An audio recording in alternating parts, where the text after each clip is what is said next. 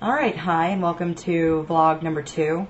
Uh, in honor of this new addition to Book Finds, we're doing a vlog giveaway. So, we're giving away four, oops, four copies of Steve Martini's newest book, Guardian of Lies. And this, it comes to us from William Morrow, and it looks like a perfect, perfect end of summer, fall read. I think um, it's it's been written up as one of his best, so it should certainly entertain. And we are giving away, did I say five copies? Did I say five? Four. Four copies.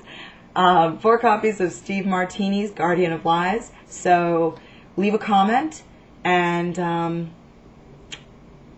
just, uh, you know, let us know what you think about the new addition to the, the site. And we will randomly pick four winners. All right. Happy blogging.